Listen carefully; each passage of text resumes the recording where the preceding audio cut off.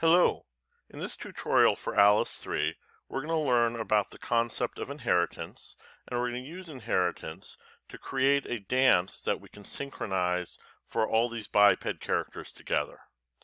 Inheritance isn't a concept that's limited to Alice.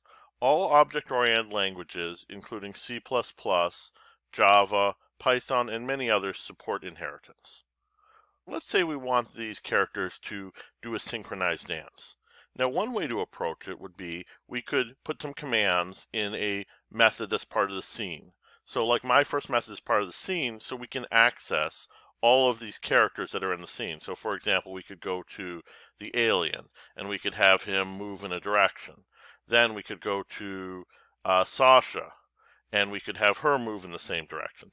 But that requires us to have a line of code to have each person do the same move and that's very inefficient. So what we're going to do is we're going to use inheritance to create a method that gets inherited to all of these characters. Then we just have to call the method once for each character.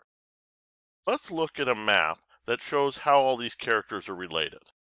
Now, this is only for the characters in the scene. Also understand there's some superclasses up here that I haven't drawn in, and that's because we can't access them as an Alice programmer, so we're not going to worry about them.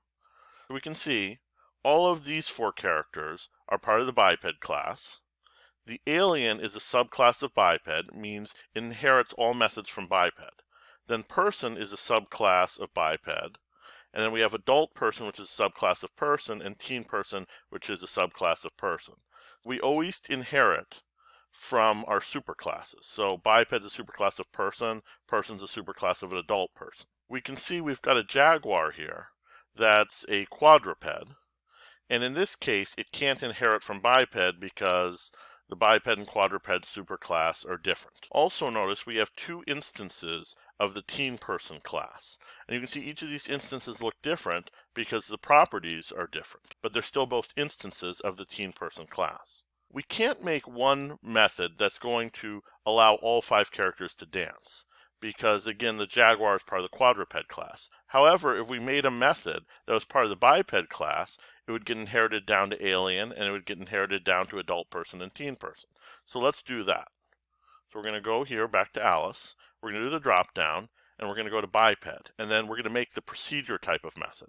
So procedure type of method does something that doesn't return any data and we don't need it to return any data. So we're going to say add biped procedure and we're going to call this biped dance. Notice we're using lower camel case. We'll hit OK. Now you can see in this case we've just got a generic outline of a biped. And that's because we're writing a list of commands that can apply to any biped. What we're going to do first is we're going to go to this, and again, this is the only thing we have, the generic biped, because we're making a method that's part of the biped class. And then we're going to go down to turn. And we're going to start by turning left 0.25, which is a quarter turn. Then we're going to turn right a half turn, then turn left again a quarter turn.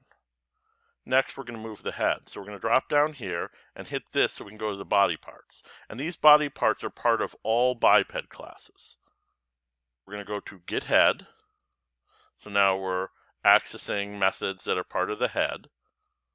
And we're going to say turn left 0.25, which is a quarter turn. Then we're going to turn right 0.5 and then turn left a quarter turn again. Now we want to have the characters move up and down. So we want to have that apply to the entire biped, not just the head. So we're going to drop down again and hit this so it's the entire biped. Then we're going to say move up 0.5 and then move down 0.5. If we run this, nothing will happen because the only method that runs automatically is my first method. So we go to my first method, and let's look at our first biped. We've got adult Sasha. And you see she inherited the biped dance. So now we can call biped dance for Sasha. And then the next one is Teen George. And Teen George is also a biped. So he inherited the biped dance. Then teen Cindy, she inherited the biped dance. And then alien Alf inherited the biped dance. And we can double check and see that Hungry Jaguar is not a biped, so it didn't inherit a method from the biped class. So you can see it doesn't have it. Now we want this to be synchronized, so we're going to do this all at once. So we're going to grab a do together block, then put everything inside the do together block. Then let's run it. Let's restart that. And we can see they're all doing a synchronized dance. Using the concept of inheritance, we're able to write one method that got inherited to all our characters, and then we just had to call that one method. So we could have 100 characters, and we wouldn't have to write individual commands for each of them. We'd make a method in one of their shared superclasses and let it get inherited down. To see the next Alice 3 video in this curriculum, please click on the video link in the lower left-hand corner of the screen. To see the entire Alice 3 curriculum, please click on the link in the lower right-hand corner of the screen.